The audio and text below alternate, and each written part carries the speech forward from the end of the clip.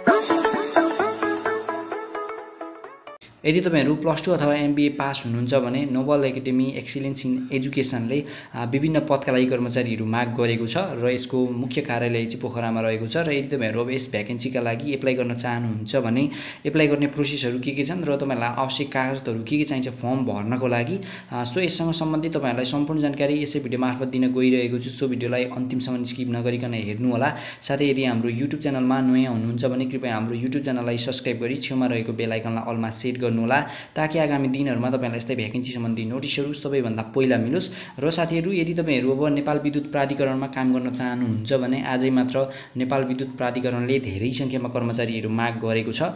र तपाईँहरूले भिडियो हेर्नुभएको छैन भने माथि आई बटनमा आउँछ। र नेपाल आर्मीले पनि अधिकृत क्याडेट पदका लागि कर्मचारीहरू माग गरेको छ र यदि तपाईँहरूले भिडियो हेर्नुभएको छैन भने माथि आई बटनमा आउँछ। तपाईँहरूले माथि आई बटनबाट क्लिक गरेर हेर्न सक्नुहुनेछ। सो साथीहरू आउनुहोस् आजको भिडियोलाई ढिला नगरिकन सिधै सुरु गरौँ। र तपाईँले देख्न सक्नुहुनेछ हेडिङमा भ्याकेन्सी अनाउन्समेन्ट र यो भ्याकेन्सी चाहिँ पोखरामा रहेको नोबल एकाडेमी एक्सिलेन्स इन एजुकेसनले खुलाएको भ्याकेन्सी हो। र तपाईँले पद नम्बर एकमा देख्न सक्नुहुनेछ रिसिप्सनिस्ट र तपाईँले काम गर्ने समय देख्न सक्नुहुनेछ बिहान छ बजीदेखि तपाईँहरूले मध्याहको बाह्र बजी बजीसम्म तपाईँहरूले काम गर्नुपर्ने हुन्छ मात्र छ घन्टा र क्वालिफिकेसन भनेको चाहिँ तपाईँहरूले प्लस टू पास गरेको हुनुपर्नेछ साथै तपाईँहरूले गुड कमान्ड हुनु पऱ्यो तपाईँमा र तपाईँहरूसँग कम्युनिकेसन स्किल्स राम्रो हुनु पऱ्यो साथै तपाईँहरूले एमएक्स वर्ड साथै कम्प्युटर एप्लिकेसनहरू तपाईँहरूलाई राम्रोसँग चलाउन आउनुपर्ने हुन्छ। यदि तपाईँहरू रिसिप्सन पदका लागि एप्लाई गर्न चाहनुहुन्छ भने र दोस्रो पदमा तपाईँहरूले देख्न सक्नुहुनेछ फुल टाइम लेक्चरर र तपाईँले सिफ्ट टाइम देख्न सक्नुहुनेछ। कुन समयमा तपाईँले काम गर्ने भन्दाखेरि बिहान छ बजीदेखि तपाईँहरूले दस बजीसम्म काम गर्नुपर्ने हुन्छ मात्र चार घन्टा। र फ्याकल्टी तपाईँहरूले देख्न सक्नुहुनेछ बिबिए एन्ड एमबिएकामा रहेका तपाईँहरूले सब्जेक्टहरू पढाउनु पर्ने हुन्छ र कुन कुन सब्जेक्ट भनेर पनि यहाँ देखाइएको छ ओबी एकाउन्टिङ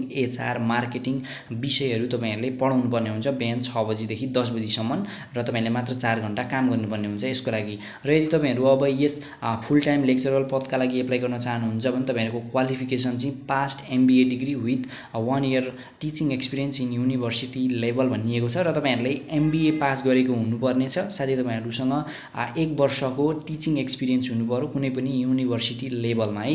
र तपाईँहरूले देख्न सक्नुहुन्छ noble academy excellence in education र तपाईँलाई कन्ट्याक्ट नम्बर पनि दिएको छ र तपाईँलाई अन्य थप केही जानकारी बुझ्न मन छ भने तपाईँले कन्ट्याक्ट गरेर बुझ्न सक्नुहुनेछ र यसको एड्रेस चाहिँ न्यु रोड पोखरामा रहेको छ र तपाईँले कन्ट्याक्ट गरेर एक्ज्याक्ट लोकेसन पनि बुझ्न सक्नुहुनेछ। यदि तपाईँहरूलाई लोकेसन थाहा छैन भने साथै यस नोबल एकाडेमी एक्सिलेन्स इन एजुकेसनको अफिसियल वेबसाइट तथा तपाईँहरूलाई इमेल एड्रेस पनि दिएको छ र तपाईँले इमेल एड्रेस साथै तपाईँहरूले वेबसाइटबाट पनि अन्य थप केही जानकारी बुझ्न सक्नुहुनेछ। र साथीहरू अब तपाईँलाई मैले सम्पूर्ण डिटेल्स भनि नै गएँ र यो छोटो भ्याकेन्सी थियो र यदि तपाईँहरू अब इन्ट्रेस्टेड हुनुहुन्छ र रिसिप्सन पदको लागि त धेरैजनाले भ्याकेन्सी खोजिरहनु भएकै हुन्छ र यो काम गर्ने समय भनेको पनि एकदम छोटो छ छ घन्टा मात्र तपाईँले काम गर्नुपर्ने हुन्छ र यदि तपाईँहरू इन्ट्रेस्टेड हुनुहुन्छ र पोखराबाट हुनुहुन्छ र यो भिडियो हेर्दै हुनुहुन्छ भने तपाईँले एप्लाई गर्नु होला भन्न चाहन्छु म।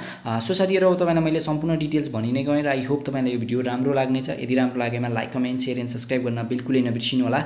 साथै यदि हाम्रो युट्युब च्यानलमा नयाँ हुनुहुन्छ भने कृपया हाम्रो युट्युब च्यानललाई सब्सक्राइब गरी छेउमा रहेको बेलायकनलाई अलमा सेट गर्नु होला ताकि आगामी दिनहरूमा तपाईँलाई यस्तै भ्याकेन्सी सम्बन्धी नोटिसहरू सबैभन्दा पहिला मिलोस्। र साथीहरू तपाईँलाई काहीँ कतै जिज्ञासा छ कन्फ्युजन छ भने तपाईँले कमेन्ट डाउन गर्न सक्नुहुनेछ। सो आजका लागि यति नै र अर्को जब भ्याकेन्सी नआउँजेलसम्मको लागि बाई